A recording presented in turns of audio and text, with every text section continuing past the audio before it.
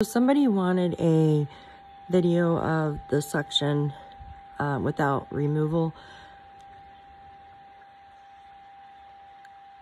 And I want to tell you that um, I have like screwed my dentures up within the past like couple weeks. I keep messing with them with the Dremel and stuff. So it made it uneven where the palate was too high and the trough was too low and basically it was kind of wobbling. I also did, um, oh my gosh. So I had um, the DNA bone marrow implanted. Um, this was like 10 years ago up in my upper left quadrant up here. Um, I did not have it over here. So when you look at my palate, it is like uh, wobbly. It's just kind of like the bones up more here and then in the front, I have like hardly any bone. On this side, it's like, uh, it's, it just, it's so uneven. So my dentures, they never fit right. Um, and I, you know, I am biased, but I have to say, if I did not have the comfort lining on my denture, they would literally just fall right out of my mouth. So, as you can see, that's with no tough grip powder, no nothing. I'm to take them out.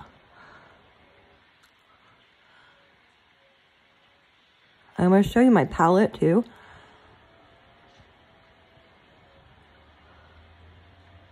Uh, see the well.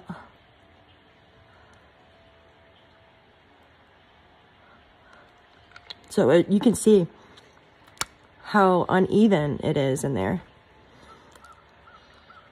And that, I removed them. I replaced them right back in. You see there's no powder on my denture, no paste. And they stay in. So, um, there's really nothing more I can tell you is that they help your denture fit better. I'm not saying it's an answer to uh, the, your denture fit.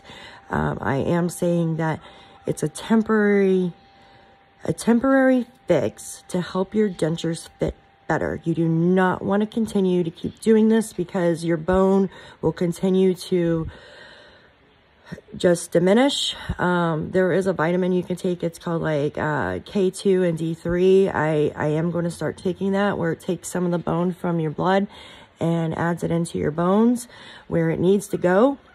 I'm hoping maybe that will help um, add more bone to my jawline and my gums. I am also going thinking about going and getting um, some implants. I am young and I do feel like wearing dentures is kind of embarrassing to me. It's I'm really self-conscious of wearing dentures. That's for another story. But this is to the person that wanted to see a video of my dentures uh, without removing them, which I did remove them, but I wanted to show you my jawline. But just with me wearing the comfort line. Okay. Hope you have a great day.